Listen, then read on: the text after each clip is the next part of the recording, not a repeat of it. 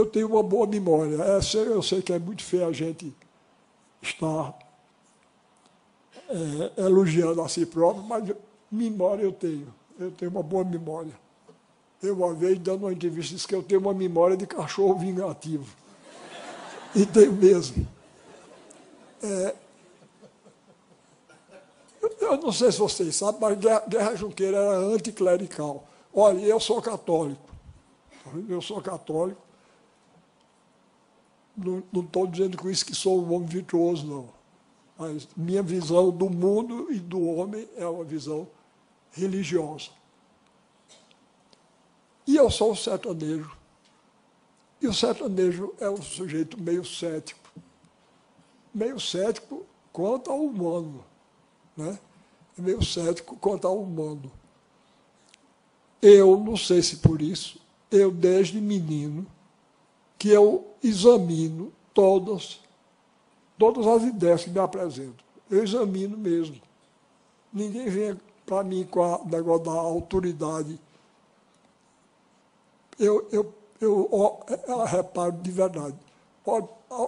Se algum de vocês tem outras ideias, me perdoe, não fique zangado comigo, não. Eu tenho minhas ideias, mais respeito a dos outros.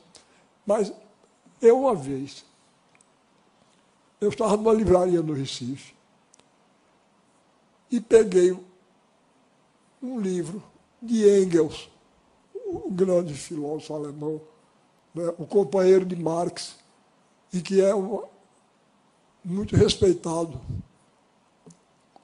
Mas o livro se chamava A Humanização do Macaco pelo Trabalho.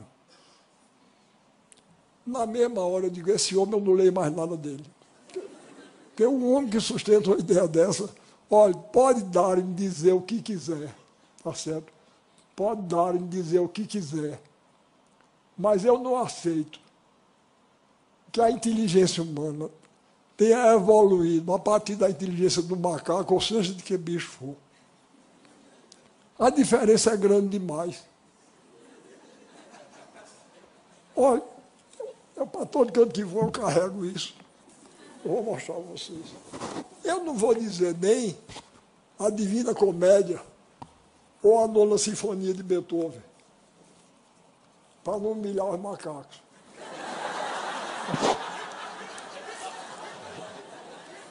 Mas, eu não vou nem dizer isso.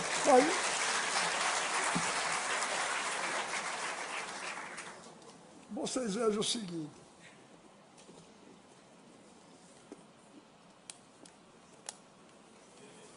Como eu disse a vocês, eu sou um sertanejo e eu sou um homem de, de inteligência prática e cética. Vocês estão vendo o que é isso? É um pegador de roupa. Está vendo? Olha, eu vou dizer uma coisa, a, a gente não sabe o nome do homem que inventou isso, mas ele é um gênio. Eu nunca vi uma, uma, uma repare, dois pedacinhos de madeira, um, ferrinho dobrado aqui de uma maneira engenhosa, danada. Ele fica fechado. Quando a gente aperta, ele abre. A gente solta, ele fecha. Olha, eu vou dizer uma coisa a vocês. Um macaco pode trabalhar 500 bilhões de anos que ele não faz um negócio desse. Tá certo? Não faz. Não faz, não na inteligência humana, na inteligência humana tem uma centelha divina que não tem bicho que chegue perto.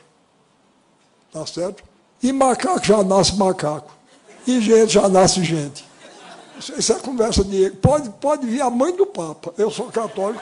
Pode vir a mãe do Papa me dizer que não, não, foi, não é não. Não é não. Eu até posso aceitar. Outra, outra coisa, vocês já, já, já pensaram devagar nessa história que eles contam, da origem da vida. Eles vivem penando, porque não, não explica a origem da vida. A, a ciência é um pouco orgulhosa.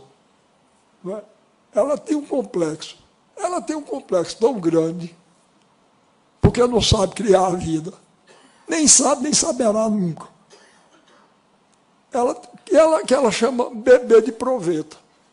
Como se o menino tivesse sido feito numa proveta. É nada. É feito com, do mesmo jeito dos outros. Porque a história que eles contam, repare, esse copo é feito de moléculas. Nós somos feitos de células. Aí no começo era tudo molécula. De repente, um grupo de moléculas enlouqueceu, enlouqueceu. E virou, virou molécula. Vir, virou célula. Aí as células começaram a nadar. Aí foram se juntando. Foi. Aí de repente disse, esse mundo está muito monótono, vamos virar uma parte macho e outra fêmea. Foi. Viraram uma parte. Aí, aí foi fazendo isso, aí nasceu um peixe.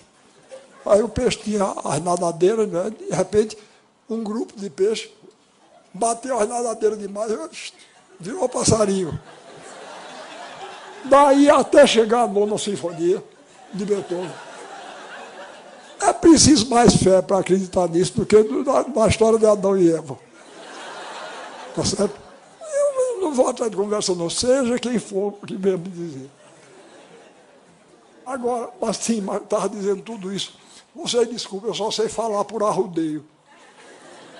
As trilhas do sertão são assim. Eu, minha mulher que está ali, que é uma mulher extraordinária, nós namoramos desde o dia 20 de agosto de 1947. Estamos namorando até hoje, não acabou nem acaba, nem a morte para poder.